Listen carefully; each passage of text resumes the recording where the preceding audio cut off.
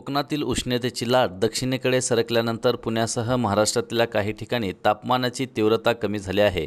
मात्र विदर्भात सूर्याचा प्रकोप सुरूच आहे. विदर्भात अनेक ठिकाणी उष्णतेच्या झळा वाढणार असल्याची माहिती हवामान खात्याने दिली आहे.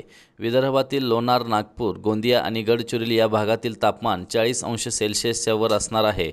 त्यामुळे या परिसरात राहणाऱ्या नागरिकांना शक्यतो दुपारी घराबाहेर पडू नये तसेच सर्वांनी उन्हापासून बचाव करण्यासाठी आवश्यक ती काळजी घ्यावी असा सल्ला हवामान खात्यांकडून देण्यात आला आहे.